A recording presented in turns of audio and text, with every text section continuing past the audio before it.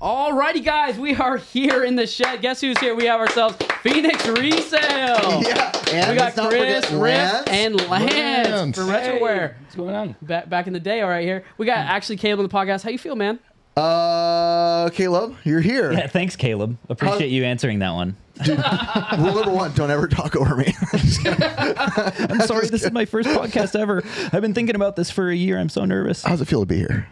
Boy, I I feel like I've been thinking about this day for the last. I'll tell you this: Retro Rick might be your number one channel fan, but I think I am the number one podcast fan. I have listened to every single episode Let's of this show all the way through. I actually was keeping track of some of your worst takes ever. Maybe we'll get to that. Maybe we won't. But I write them down every time Riff says something stupid. I get a I'm like, text. All right, I need to. I'm going to bring this up to him live. I will say you have been supporting the podcast since day one. You've Thank always you. been very talkative Yeah, to me about it. appreciate that. So. Thank you. Always the tone of surprise with you. You know, I'm always surprised because the reality of why you're here is everybody knows you're a scumbag. That is the main thing I'm known for. All right, so It obviously, started started with my parents, and now it's just everyone. so obviously, I'm joking. Obviously, we're joking. But okay, uh, the big thing on the internet, you've done videos confronting these people, talking to people, business owners, brutal reality. You're a reseller. Some people love you to death, and for some reason or other, I want to hear from you. There's a large amount of people who hate you to death. You've quickly become kind of the target of collecting channels, flipping channels, maybe both even, justified or not, which we'll get into. Uh-huh. I want to hear just your take in general to all of the reaction to you kind of being the hated guy within that world. Yeah, it's interesting that you say that. I've been grappling with that more recently of just like the reality of I made a video recently called Why is my YouTube channel so widely hated?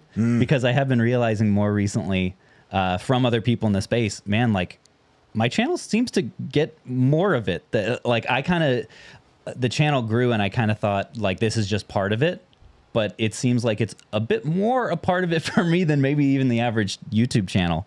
Um, as for why, I guess they're just good judges of character, and they see right through me. Do I don't you- think so. I disagree with that. And I'm just going to vouch for you as a human being. And I've known you, you know, we've hung out a few times. You genuinely are a really good guy. Well, thank you, man. You are. I'm glad I have you It's fooled. unfortunate that people say that. And I watched some of your, you have the videos that you put out, and I was like, dang, it, it, it was very heartfelt listening to you talk about that. Mm. Because knowing you as a person, I'm like, dang, you're such a good guy. It sucks that you're getting hate like that. Well, I So- appreciate I would that. say that one And you- thing that his like benefits his channel. He handles it very well. What were you gonna say, Lance? Lance? No, I was just gonna say, you know, because we've had Caleb at uh, Retro World before. One of the easiest guests to work with. Just gets back to you. He's very professional. Yeah, well, you and- guys and put we on don't a great know each show. other personally too well, but what I do know, And as a very, fellow very good guy. expo owner now, thank God, because it is very nice to have someone who's very easy to work with. Yeah. Um, a question I wanted to ask you is when you, you know, feel the hate, read the hate, whatever, is there a percentage of it where you ever feel like, oh shoot, they're actually maybe kind of right on that versus the number of people. I, I have a theory of why I believe people hate you for sure. Yeah. So, well, We'll get to thank- it. Thanks for that. I appreciate it. but I would say previously, because my stance on this has changed a lot recently in the last like year or so, I've actually gone from like continuing to try to like read the comments and stay as like in touch with like the good and the bad feedback as possible to like now I, I just take the advice that everyone has always given me which is just ignore it. Um, that does come at a cost because you do lose some of that contact with the community that made you. Um, but what i've realized is over the course of growing a channel my thought going into it was that okay as the channel grows like pretty much proportionate to the channel growth the hate is going to grow mm. but i was totally wrong. What has actually been the case is like that graph has not been linear. Like as the channel grows the hate grows it's actually been more exponential. So like it shoots up the, not just the number of haters grows but the ratio of good to bad gets worse over time And, and I, I did see you talk about that and even thought about it in my mind because I used to think, you know, that was going to happen, right? To mm-hmm. someone like us, let's say even Pixel Game Squad. Like, okay, as we grow, hate's going to grow at some level with it, right? Nothing exponential. yeah And when I was listening to your video of you talking about that, kind of how your, the hate has kind of like rocketed up along with the channel, mm-hmm. I feel like it was shockingly like high, right? To a level to where it felt like as someone who's on YouTube sees other channels, I'm like, that is shocking the amount. But I per- I personally believe like I've again been on YouTube forever, 12 years, different people helping channels. I think that you're just too honest.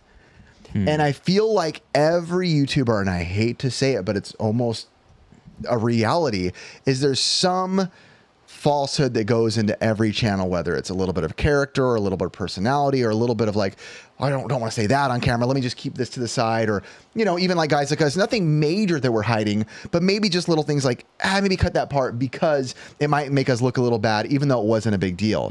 But I feel like you're the only one I've ever met on YouTube, especially being your editor, where you're like, "Mm, whatever, put it all in. Like you don't Yeah. tell me, oh, cut that. That might look bad. That might make me look a certain way. You're like, that's just the truth.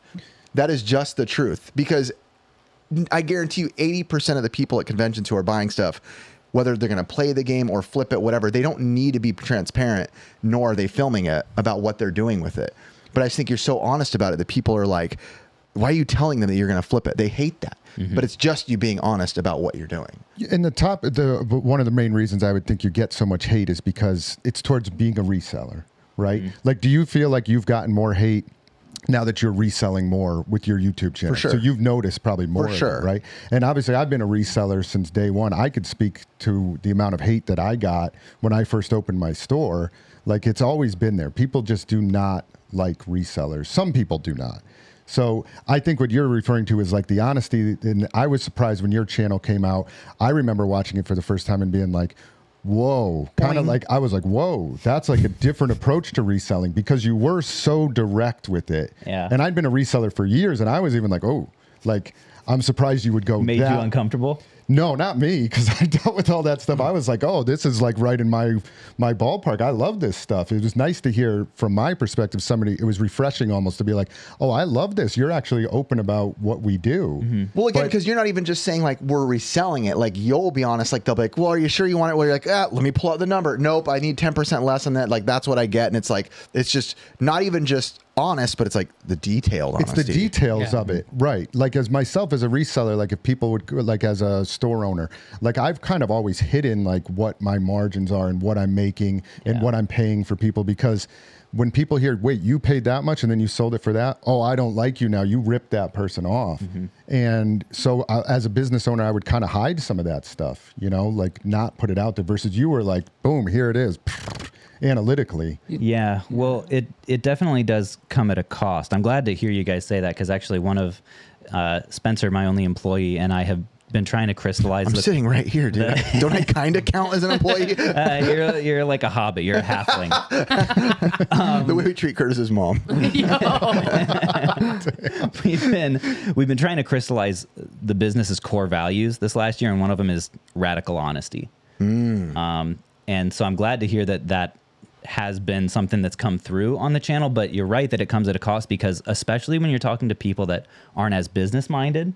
You run a big risk of things getting lost in translation. Like if you are in your store and someone sees you offering 30% of market value for a game that you know is going to sit forever, right? And that you can't feasibly pay more because you've got all the overhead and the expenses and the employees, and it's got to be cleaned and tested. And there's all the work that goes into it. The average person might not know that. So when you're radically honest and you say, "Hey, this is a hundred dollar game. I'll give you thirty bucks," some of that might get lost, and maybe that's where uh, part of the hate comes from. Uh, but I, I mean, your guess is as good as mine. I think uh, part of it also is like as the channel has grown and as any channel grows, you lose underdog status, right? So the more successful you become, one thing I heard the, in the last couple weeks is like when you start out and you're the underdog, you remind people of their dreams, mm. right? But the more successful you get, you start to remind them that they gave up on them. it's interesting too like he has I, I guess a good question for you, Lance. If you don't know, Lance is one of the founders of RetroWare or the founder. How's that? Yeah, so I founded uh, RetroWare with uh, John Delia. Yep. We don't we don't own the name anymore. We own all our, all our content, but Hmm. yeah, it was a long time ago now. You guys were some of the more popular YouTubers back in Guy. When was this? 2010. yeah, 2008, 2009. something Wow. Early so days. early. Were you guys when you guys grew because you guys were some of the bigger dogs within the retro world as well? Was like hate comments something you would see as often, or were you guys kind of beloved because you were holding games as strictly the history of games, or was it? You know, it's it's kind of funny because I, uh, I was going to say this about Caleb stuff, and you know, as you grow, you get more comments and good and bad. Just reviews overall, whether it's YouTube, whether it's Google, a uh, restaurant, whatever. For everybody who likes something, they're probably less like to comment on it than somebody who hates something. True. So you're gonna get like all this hate because they're they're angry. They're, they don't like it. But there's probably a thousand people to the fifty that didn't like it. That that really did like it. So that's probably why, you, as your audience grew, you, you saw more more hate. And you gotta excuse my voice, paralyzed vocal cord things going on. But um, you know, and, and as far as me, that like I'm, I'm glad that you don't let it bother you because it, it actually really bothered me. And uh, as I as I got we got bigger and stuff, more of that came and kind of affected me a while. And then it came to the I came to that conclusion eventually. And uh, Yeah. you know, so It, is that why you ultimately stopped doing YouTube videos? well, was it because of it's, that? It's actually very you know it was very hard for me to to do a lot of audio. Uh, again, paralyzed vocal cord, I get winded easily and all that kind of stuff.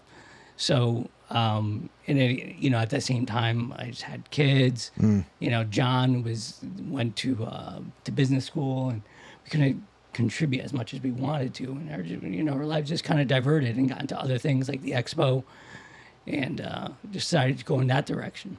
So. Well, I'm glad to hear you say that because if I give the impression that it doesn't get to me, which I probably do because uh, I joke Hank. about it a lot. Hater Oh, Hank. Yeah, my ha- the favorite hater Hank bit. Hater Hank. Dude. Yeah. One of my favorite. Yeah, so for the longest time the my strategy was to read the comments and then try to embrace them by like making jokes of them. Um, so it probably gave the impression that it doesn't really get to me, but like it's almost impossible for it not to. Mm, like I if would you're think so. if you're really honest, like there are times when you'll read a comment and you'll find yourself like thinking about it as you're laying in bed. Especially mm. when and Yeah. the worst ones for me are when you see multiple people calling you out for something that is the opposite of who you want to be. Right? So like mm. when people accuse me of like hiding stuff, right? Or being false or shifty or like that really gets to me because I'm so much about like I'm trying to like really put myself out there and not hide stuff, hide less than most people do.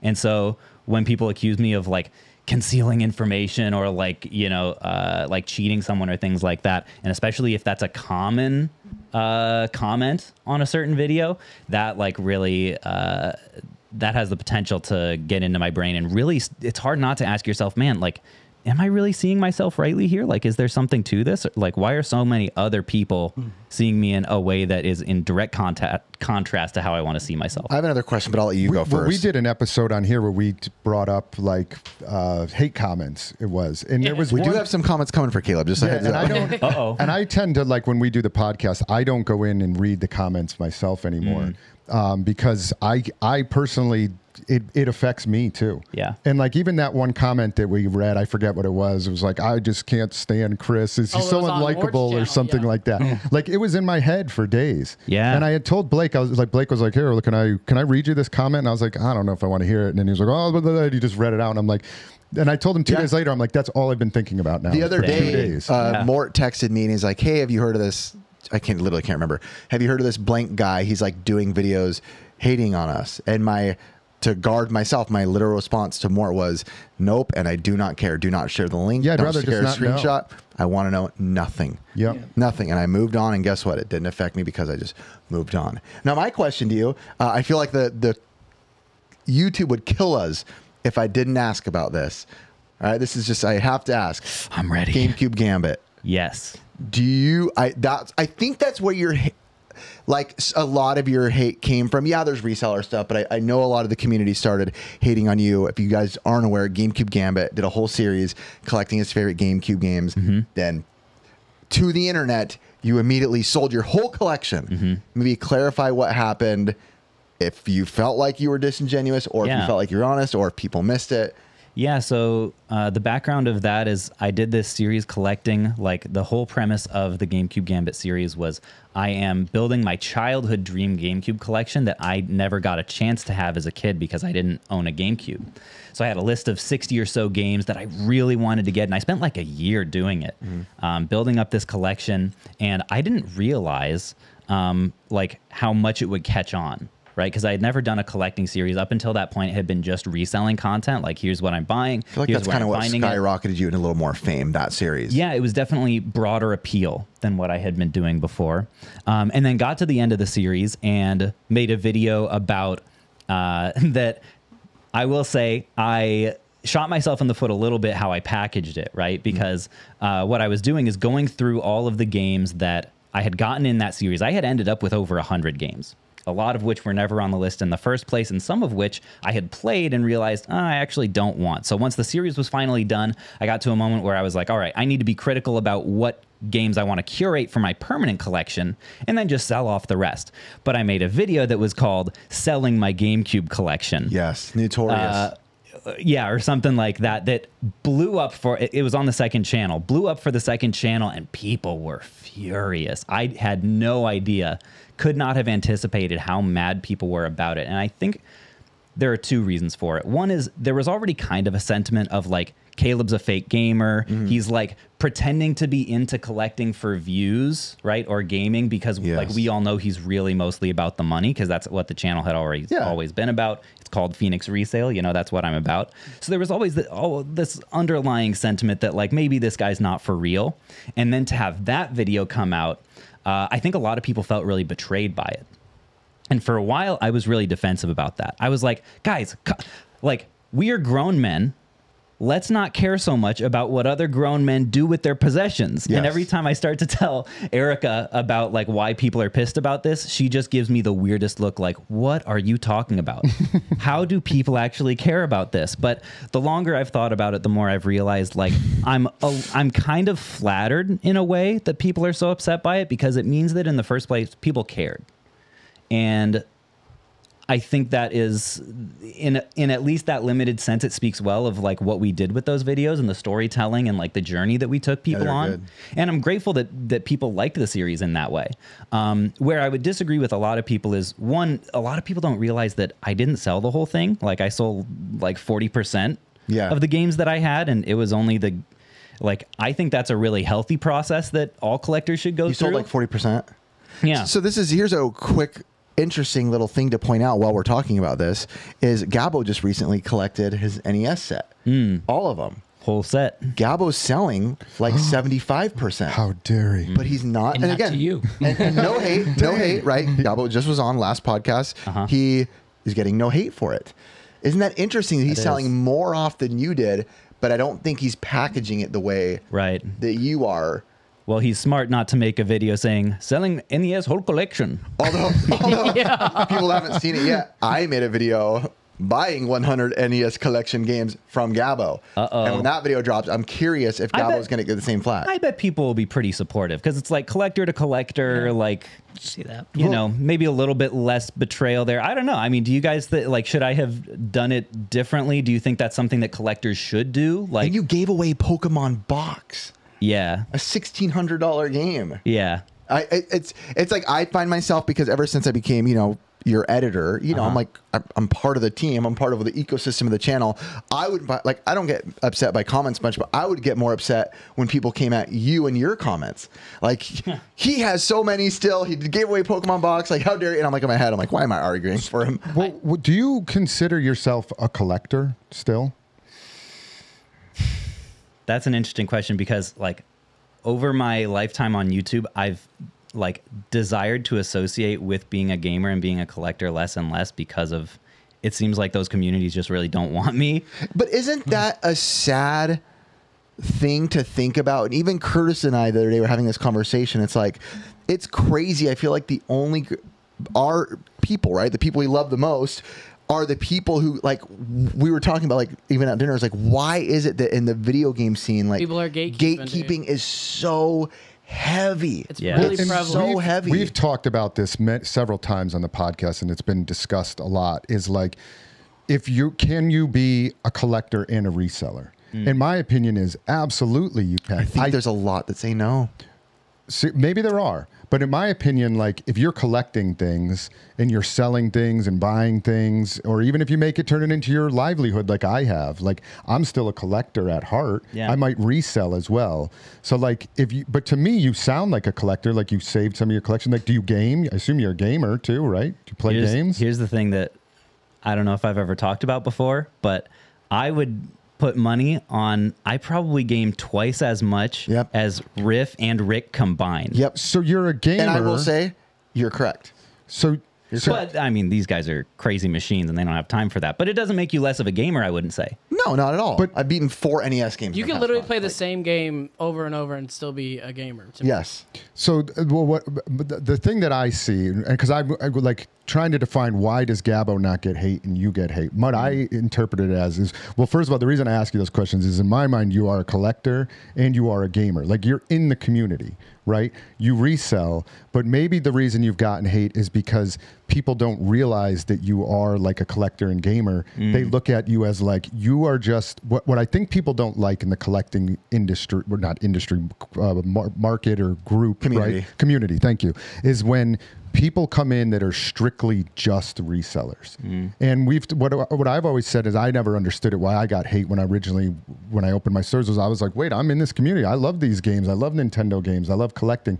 And I found over the years I've gotten less and less hate as I've done things like the expo and like I'm always like, well, we're giving back to the community, trying to be involved in the community and doing Yeah. stuff. When I got the most hate was when I first opened my stores and people were like, they didn't know who I was, and they're like, "You're just a reseller coming in to resell our hobby," and people Not just, a do reseller, a dirty. dirty Yes. reseller. So, and I embraced it for a while. Remember, there was a period of time like eight years ago where it was myself and a few other video game store owners. We were calling ourselves dirty resellers. There were shirts made and Yes, everything. scumbag. Yeah, we just started embracing it. We were like, oh shoot, all right, we, we, we'll, we'll be that if that's what you want us to be. So interesting is recently the Game Chasers put out a podcast, and in they even mentioned us in the podcast, uh, which was nice of them. But in my head, I was like, if you guys would have put this video out years ago, it was basically them being like, we know that we kind of like created this persona, even though they believed it to an extent of like resellers are bad.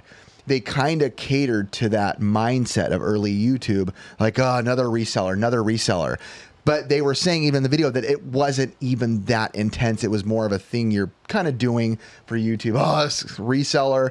But really, it was more just a way of YouTube back then. And they were like, I wish we were kind of more open about this. It wasn't actually like we hate resellers. And Well, because that was sorry, that was the like mentality back then, and this is goes back to the retroware days when you guys like all, when you guys were making videos and the team that you were involved with, not not just you guys, but YouTube in general, and even when you guys had NES Pursuit, Yeah, it was all collecting, collecting, collecting, collecting. Yeah. And I don't know who the f- you might have been one of the first people that JHMDF might have been one of the first more popular ones. yeah that all of a sudden we're like, oh, that's there's all these collecting videos, but here's reselling as well. Which is Scott Squatch, by the way, if you're wondering. You who I was know. Okay. What, what- what's kind of weird though is like there's definitely like a relationship between collector and, and reseller to an extent.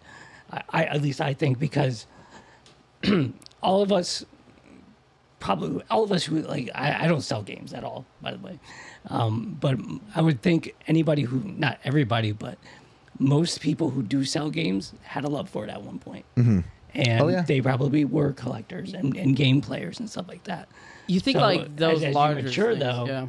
you know, like eh, maybe I can make a profit in it. So it's like there's still the love there. Yeah. Like I go to Chris's store today, and the like, you know I'm not gonna. He he just had this really big collection of of personal stuff that he's not selling. Yeah, I was are- pointing out his all my things. comics and personal Yeah. stuff. I didn't want to say unfair. Yeah. people. A lot- but yeah. and that's where my point is is that I, you can be both and you are both i just maybe it's somehow lost Caleb, its root that that's In what this you are room, we accept you. yeah we do That's We so nice. do. Wait, speaking of accepting, Curtis has been trying so hard. Yeah, to yeah, get no, on. because like I, would, I was only trying to just get out the fact that like most of these channels that pretty much were inspired by reselling like TV shows. Mm-hmm. Everybody would look at mm-hmm. American Pickers like, oh, they're reviving, they're reviving, but realistically, they had a storefront selling that stuff that they found. Yep.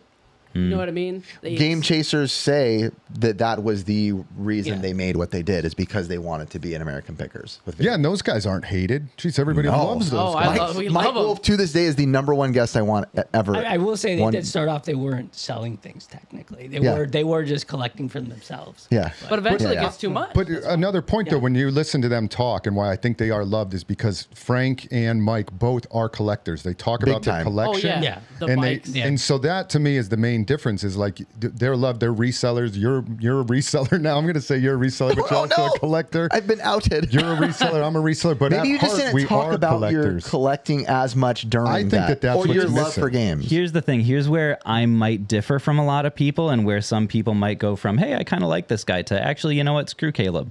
Is I actually don't believe that the collecting hobby or the gaming hobby is any more virtuous than reselling. Mm.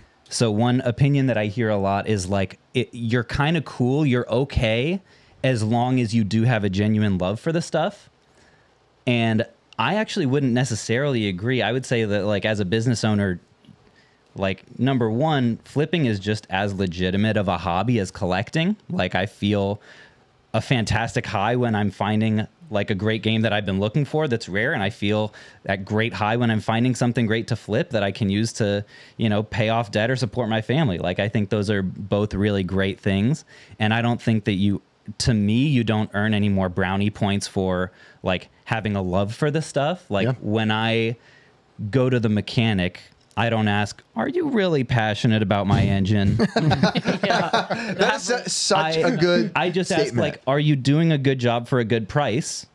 And that's what I make my decision based off of. Not, but like when you get into the collectibles world, there's this sense that people have of, I don't want to say entitlement because I, I think it comes from a good place of like you're not, you have to earn the right to make money on this stuff. Uh, outside of just being a good business person. Uh, and that's where I'd probably like I hear people talking about that a lot with me, and I want to. I try to reject the urge to justify myself by saying, "No, guys, I really do But I like am a gamer. I really am Yeah, I a love collector. I, it." I love gaming." Like, because I just kind of want to be a voice for the flipping community. That like, flipping itself is a cool thing to be into. I mean, in the reality too, and I, it's like we can argue and try to pick reasons why this and that. Your channel is called Phoenix Resale from day one. yeah, Yeah. Like it's a resale channel through and through. Like if you're coming there to justify, like, dude, you're not even a gamer. It's like I am a resale channel from day one. You know, if, if the love for games happens to be on there, also great. Hmm. And I respect that opinion that you have too. That's the one thing that I think when when I started getting hate early on, I was like, how do I curb this? Like, I don't mm. want to be hated like that. And that the one way, it wasn't like it was fake. I mean, I always was a collector and a gamer. It was just to like show like this. I'm one of you guys too. What so whether you choose to do that or not sounds like you know you you don't have to. Well, and I think It it's does- also it's an awesome thing that this is a space where almost all the people who are in this business do it because they love it. Like nobody gets into video game, almost no one gets into video games like just because they think it's the most optimal industry because it's super competitive, right? Like it's not something you would just go into if you don't also like kind of feel a little extra happy when Yeah. you have a shelf full of N64 games that you're selling rather than a shelf full of door hinges. Yeah. you know? And i'm definitely in that. I think almost everyone feels that way and i think that's a, a really cool thing about the hobby. I just i wouldn't like disparage someone if they're like i just really love this as a side hustle and like my enjoyment in this is the financial gain that i and my family get uh, and like i love the business side of it and that's where i get my enjoyment i'm i'm like that's really cool too I agree with that too. Yeah, there is nothing wrong with that. But in the community, there is. It is viewed as It's not, but there's still that sentiment Right. in the community. Unfortunately. Which is, I think it's just, and I don't think it will ever be fixed. I think it's an ever long battle. I, almost think it's, I don't. I oh, I don't know though because we. If you look at other markets, like sorry, Curtis. it's just all day. that like, Get away, Curtis. Hold on. Curtis. stay in your corner. if you look at like comic books, right? Like I, I go back to comic books a lot because it's been around for hundred years. It's one of the longest running collectibles, right? Like in the comic book world, I do not s- see the kind of hate towards people that sell in comics, and a lot of people do that just as like their financial gain, and it doesn't seem to be as apparent there.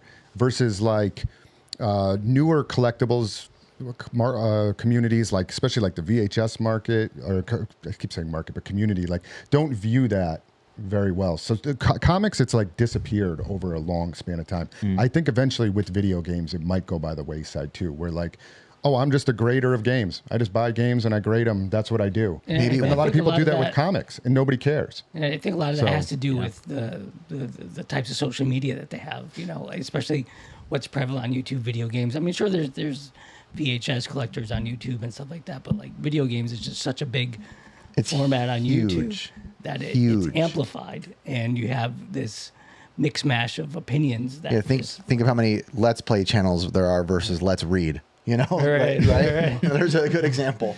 My know? last question was going to be um, like, do you ever think this uh, stigma of hate towards you will ever change on your channel? Uh, probably not. Uh, although I will say, like recently, I've been pivoting my content to be, yeah, much more business focused, and so I would expect that as all of the collector crowd just organically loses interest, Yeah. uh, and the niche kind of gets a little bit tighter, right? Like business people are generally going to like business videos a little bit more. You could see like maybe my ratio will be better, but at this point I won't necessarily notice because I'm not reading it anymore. Yeah. Um, so we'll see, but I don't. Uh, I I think if I had any advice to fellow creators, like I wouldn't necessarily um, tailor what you want to make based on what will get you the least hate. Um, I would just be really careful the um, sources of feedback that you allow into your mind. Like right now in this room, I'm feeling great about what I do.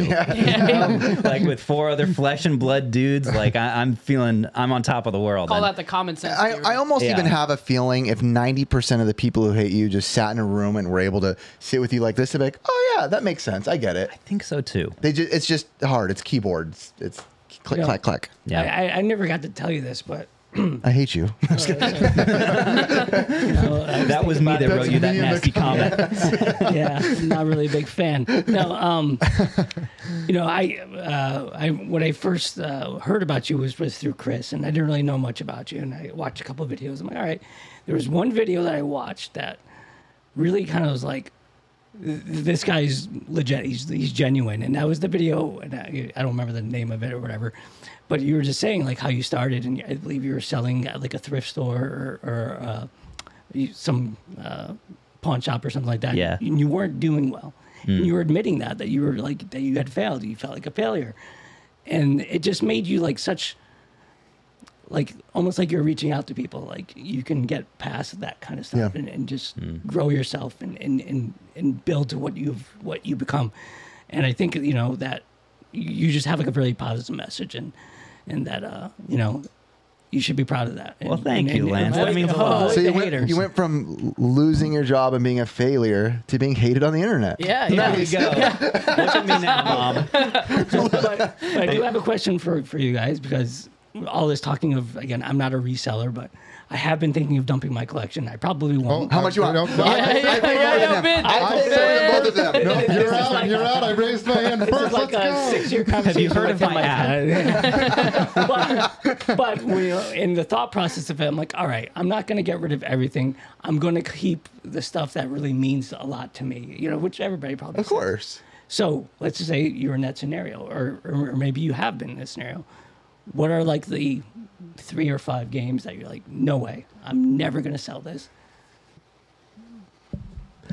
It'd have to be. It'd have to be a, a childhood. Like right now, Right. I'm rebuilding my NES set. Just pick one. Strictly for the reason of getting my brothers here to play the way we Just, used to. just pick one. Not Thanks for keeping I'd us probably on go to track, River City Curtis. Ransom. River City Ransom. I honestly might say Ribbit King. Wow. Bought you that. I mean something. Sentiment. Yeah, So- that, that was uh, in the history of the channel just a, a good gift moment. That was a good That moment. came at the right time. So that might be it for me. Awesome. Dang, you guys are gamers. I just keep Magical Chase because 'Cause it's most worth the expensive. money. Let's go. Oh my god. I'm Not a gamer. Did you did you have yours? You'll hear from me in your comment section. Oh, I, I was I was just gonna choose uh, Roadkill just because I can never find it. So Yeah. Was the thing like that's why I haven't sold mine because I haven't been able to decide what I'm going to keep. I mean, like things like Super Metroid, like I, I could never. I would probably keep that. Yeah, or So- like Symphony of the Night is actually one I But would you know I what's funny that though is when I was a kid, I did sell my Super Metroid, Ooh. and I bought I bought the cart like again like I don't know maybe like 15 years ago, and it's only recently like we got it back I with the box. and Send me a picture. So Yep. Hey guys, just just so you guys know, this is a free little plug for Caleb. Please check out his uh, One Up app. He does give fair prices. You can put your collection in, and yeah, just know, know that we love you. There you One dash up dot app. Oh my you gosh, go. you guys already gave me the free sponsorship in the other episode. Yeah, yeah, I- but I- this is gonna be the first one that goes it. out. I've been using it for NES Pursuit, and I have been very happy with it. Riff, you have not. Yes, Riff, I. Riff texts me like every single week. Hey, this is broken, dude. Why That is is this, me- work? this, that this is feature sucks? Bro, that's what you want. That's what you want. Yeah, No, it's actually been super helpful. and I, do, I do appreciate it. But anyway, when that app comes out, guys, please go and It's download been it. out. Is it out? It's been I mean, out. I, I know it is Some on the website. friend you I'm on the website one, but I don't know about the phone app one. It's That's on fine. there. One Yeah, dash up it's on there. app. Although to clarify, it's really geared towards video game resellers specifically, not as much collectors. I, I like to say that because like we're not rolling out a lot of collector features in the next like year or so, and I'll I keep don't bugging want, him, don't worry. I don't want people to hate me more. Okay. Yeah, yeah.